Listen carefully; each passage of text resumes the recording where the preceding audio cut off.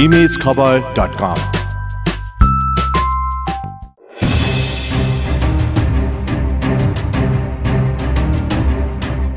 White body विमान खरिद प्रकरण कृषि सामग्री मार्फत रासायनिक मल खरिदमा भएको अनियमितता सेक्युरिटी प्रिन्टिङ प्रेस खरिद प्रक्रिया नेपाल ट्रस्टको जग्गा भाडामा लगाउँदा भएको मनोमानीदेखि माता तीर्थ क्षेत्रको जग्गा अपचलनमा उठिरहेको प्रश्न नीतिगत भ्रष्टाचारकै दृष्टान्त हुन्। जसका निम्ति सरकारले विद्यमान कानून भित्रभित्रै संशोधन गरेर त्यसैको छिद्रबाट यस्ता अपचलनलाई वैधानिकता प्रदान गरिरहेको छ।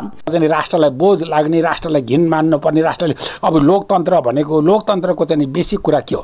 चाहिँ म चाहिँ जवाबदेहिता पारदर्शिता। जवाबदेहिता पारदर्शिता यो चाहिँ लोकतन्त्रको बेस हो।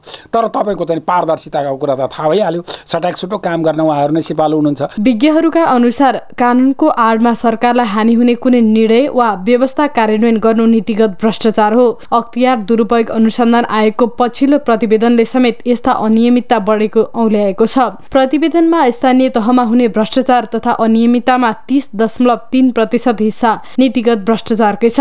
यो मुलुकमा स्थायी सरकार र राजनीतिक प्रणाली परिवर्तन भएपछि संस्थागत बनेको विकृति हो। यो बीचमा सरकारले वाइट बडी विमान खरिद गर्दा सार्वजनिक ऐन नै परिवर्तन गर्यो। नेपाल ट्रस्टको जग्गा भाडामा लगाउँदा नेपाल ट्रस्ट ऐन दुई हजार चौसठी निश्चित स्वार्थ समूहलाई पोस्ने नियतका साथ संशोधन गरियो। शिक्षा र स्वास्थ्य क्षेत्रमा ट्रस्टको सम्पत्ति लगानी गर्ने साबिकको व्यवस्थामा पर्यटन वा व्यवसायको क्षेत्रमा समेत लगानी गर्न सक्ने भन्ने शब्द थपियो। गोकर्ण फरेस्ट रिसोर्ट छाउनी र दरबार मार्गको जग्गा भाडा प्रकरण त्यसपछि सृजित विवाद हो। भ्रष्टाचारको थल्लो बुन्ने काम नै गरिएको थियो। जिटु जिटु जिटमा जाने नै प्रक्रिया गल्त हो। प्रारम्भिक प्रक्रिया नै गल्त हो। यो चाहिँ ग्लोबल टेन्डरमा जानु पर्थ्यो। ग्लोबल टेन्डरमा गइसकेपछि कुन भाव रेटमा कुनै देश लिन्छ भन्ने ल्याओस्। यसमा कुनै दुमतको कुरा छैन। त्यसले छलाङ हुन्छ नेपाली जनताको सामने स्पष्ट हुन्छ कि मानव यो सोफाको रेट अहिले पाँच लाख पर्छ भने अनि यही सोफाको रेट कसैले चार लाखमा दिन्छ तिन लाखमा दिन्छ भने हामीले जो सस्तो दिन्छ उसित लिने हो।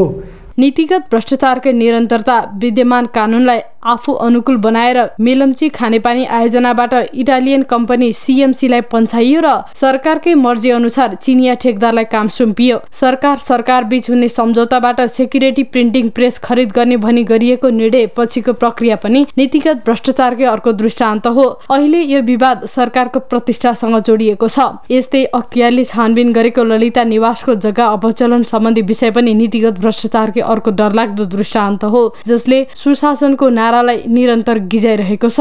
इमेज समाचारका लागि क्यामेरा पर्सन सानो मालिका साथमा Narayani Lamichhane Kathmandu. For more news and updates, subscribe, like and follow.